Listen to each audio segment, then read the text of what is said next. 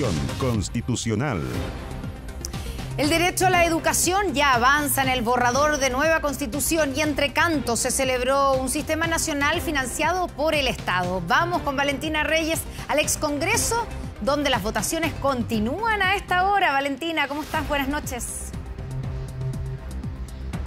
¿Cómo estás, Constanza? Muy buenas noches. Sí, estamos en medio de las votaciones de educación, o un derecho fundamental que eh, tiene su espacio en el Pleno de la Convención Constitucional durante este día miércoles, que se ha aprobado un sistema nacional de educación. Y los quiero invitar a escuchar parte del ambiente con el que se celebró la aprobación de que este sistema nacional de educación sea financiado por recursos del Estado, que irían directamente a las instituciones públicas. Vamos a escuchar un poco de ese ambiente y continuamos comentando lo que ha sido esta jornada de votaciones en la Convención Constitucional.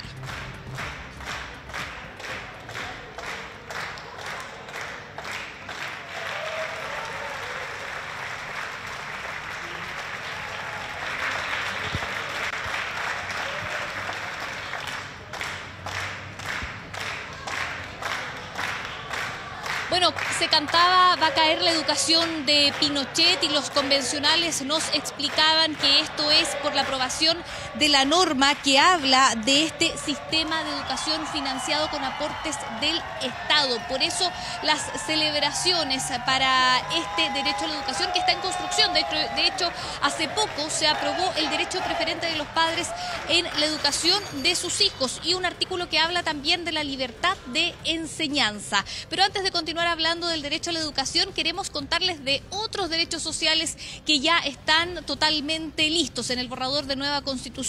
Estamos hablando del derecho a la salud. Fue aprobado hoy, se incluye a prestadores públicos, se incluye a prestadores privados. Con esto estamos hablando de clínicas o centros médicos privados. Los detalles en la nota de Ignacia Jiménez. Con la sensación del deber cumplido estaban varios en el pleno de la convención, pero algo aún faltaba, la votación del último informe de la Comisión de Derechos Fundamentales en la sala. Estamos hablando de derechos que no son abstractos, son totalmente, eh, totalmente concretos en relación a la vida cotidiana de la gente. Estamos hablando de vivienda, de salud, de educación, el Pleno en esta jornada cerró que en políticas de vivienda el Estado considerará a grupos vulnerables como prioritarios para políticas en esta materia. Además, administrará un sistema integrado de suelos públicos. Aprobada también fue una propuesta ampliamente discutida en los pasillos de la convención, el Sistema Nacional de Salud, que podrá estar integrado por prestadores públicos y privados. Entendemos que ese es un un debate democrático que merece una gran apertura y sea el Congreso que defina cómo se va a integrar a los privados a ese sistema. Si dijera, que no dice, que tendrán derecho a existir prestadores privados. Por lo tanto, queda todo sujeto finalmente a la decisión, a lo que quede establecido por ley. Mediante un comunicado, la Asociación de Clínicas afirmó que creemos que la propuesta no es una vía efectiva para mejorar las condiciones de acceso ni da la prontitud que hoy se requiere en la solución de problemas urgentes que afectan a las personas. Cambios al sistema de salud donde el Pleno rechazó el artículo que buscaba dejar en el borrador que podrían existir seguros privados de salud complementarios al sistema nacional creado, posición que temprano se había tomado el debate en el Pleno. Y segundo, esta convención, con su constitución, está tomando a tres millones de personas que hoy día tenían un seguro para poder atenderse en la salud privada y ellos hoy día no van a poder hacerlo y van a colapsar el sistema público. Y yo no vine aquí para dejarle los privilegios a unos pocos, yo vine aquí a cambiar este país. Extenso debate del último informe de la Comisión de Derechos Fundamentales, capítulo de los derechos sociales en el borrador de una nueva constitución que también fijó que la educación será de acceso universal en todos sus niveles. Bien, ahí lo que pasó con el eh, derecho a la salud, pero queremos volver sobre el derecho a la educación. Tenemos una gráfica preparada, se habla de este Sistema Nacional de Educación que integrará desde la educación pública hasta la educación superior. Y lo que les comentábamos al inicio de este despacho, también se señala que el Estado va a financiar este sistema de educación en el cual habrá aportes basales. Nos explicaban que esto quiere decir que los aportes van directamente a las instituciones de educación públicas. Todavía está en construcción la norma de educación. Por supuesto, habrá muchos detalles que hay que explicar. Tenemos declaraciones de Yanis Meneses, ella habló como convencional constituyente de movimientos sociales. Vamos a escucharla. Hoy día aquellas cosas que están en los lienzos se están transformando en norma constitucional. Hemos avanzado en una demanda histórica que tiene que ver con el financiamiento. Sin duda es un día para celebrar, un día que va a marcar un antes y un después. Lo que estamos diciendo con estas normas es que nunca más las personas se van a sentir solas, que el Estado tiene el deber de acompañarlo en aquellas prestaciones que resultan básicas. Y es por eso que estamos contentos con la, con la consagración del derecho a la vivienda, del derecho a la salud y del derecho a la educación. Bien, ahí parte de las voces de los convencionales no alcanzamos a tenerlos todos. Están en el break entre votación y votación. Ya vamos a ir sumando voces de los convencionales constituyentes sobre estas normas que fueron aprobadas. Y de hecho debemos hablar de otra norma importante que también ya está en su totalidad en el borrador de propuesta constitucional. Estamos hablando del derecho a seguridad social que busca que tenga un principio de solidaridad. Incluye que haya protección en caso de vejez, paternidad, maternidad. Acá el debate se ha centrado frente al sistema de pensiones pero los convencionales insisten que el sistema de pensiones va a ser materia de ley, pero ya tendrá ciertos ejes que son importantes. Lo explica en detalle el periodista Felipe Gallegos. aprobación del inciso que otorga el derecho a los sindicatos y a los empleadores a participar de la dirección del nuevo sistema de pensiones, quedó listo el borrador de seguridad social de la nueva constitución.